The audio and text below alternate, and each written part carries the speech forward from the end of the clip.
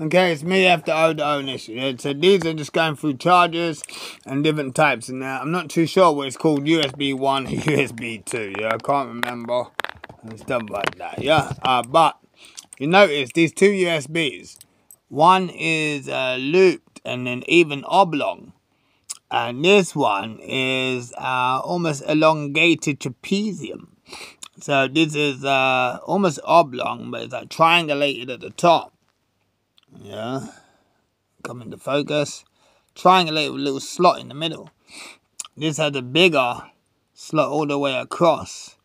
A big gap. Now, from that side, you see the shape of the ones. This one is bigger than that one. And uh, basically, yeah, so that's got the littlest slit, and this one's got a big slot, which you can tell, but also the overall out shape. And you see that on the jack, you see that one matches up to the shape matches. But this one, it, it doesn't match to the um yeah to like the overall shape. This one is smaller. Then it goes across, you know, stuff like that. So then here on what it does match say it's more triangulated and stuff like that, which it does, they know which way up it goes, not to force them and, uh, and put it in a uh, USB. Do not wiggle it back and forth, up and down, left, right. It's straight in uh, parallel, in and out. And if it doesn't really go, they want to flip it over, make sure it's facing right where you may want to look, especially one of these.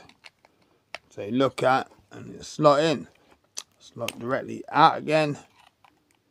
So called slot directly in again. So that is how do not wiggle left and right or up and down. No, it's yes, it's straight in and out. Don't want to ruin it, don't want to lock it in. You may have to use tweezers. The person is believed to be an idiot or saboteur because how do you know what what what goes in and what? We don't know. Uh, what uh, um, this forensic and yeah, it could get accidents pulled over time. That's his belief. So that is uh, is do check the end of your uh, charger and identify the charger length. What chargers come with things to go with things. Should be able to match up, especially over the same electronics from lights, phones uh, torches, CO2s, battery, this and that. You can obviously tell, let's see like here. This is a uh, battery bank. The solar panel so it should charge up. We got that. I've got a light behind here. See, and that's why it's lighting up. It's flashing because uh, it's uh, almost uh, charged. Okay, so and can even just do lights in this and that. So I'll do it on another video, y'all. But how to light from the light there onto this and like this. Light. Light on that is causing on the, on the torch. It's causing it to say light it off. The light to recharge the side there off. When you put on, it restarts recharging.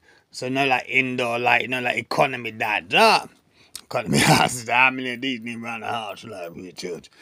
Yeah, that uh, what's USB ready to go?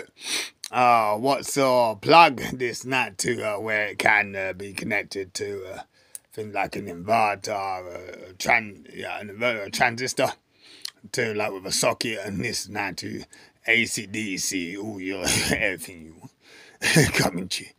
So anyway, for now. That's uh, so note the two sides. So that one, it's a bit triangly.